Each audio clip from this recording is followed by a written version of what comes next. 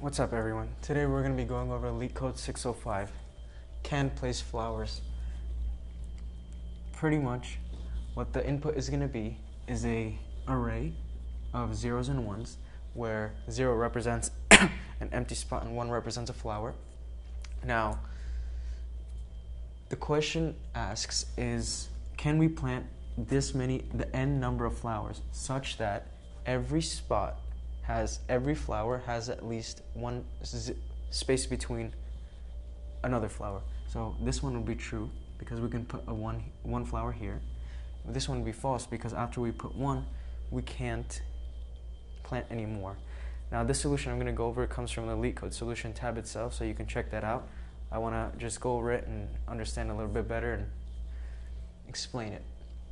Now, the trick to this is that as we go along, we actually plant, we actually set zero to one, which implies that we're planting a flower in a empty spot.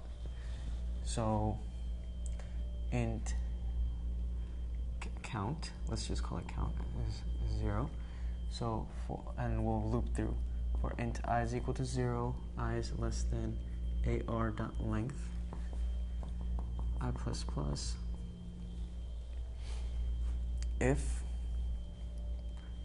ar of i is not equal to 0 is not equal to 1 yeah that means it's empty. And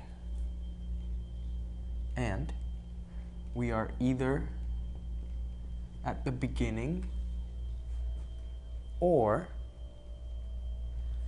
there is no flower right behind i, so i minus 1, or ar of i minus 1 is not equal to 1.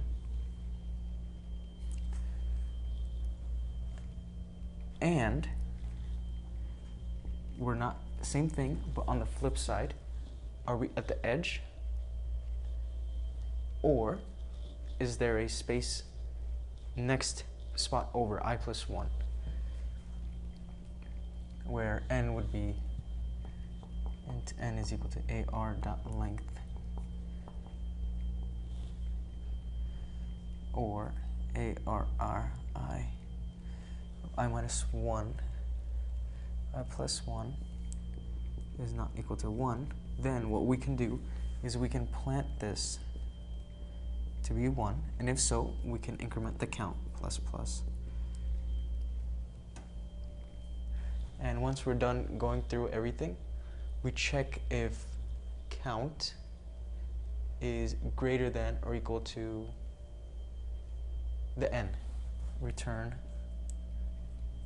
count greater than or equal to n. And that's how you can solve LeetCode 605.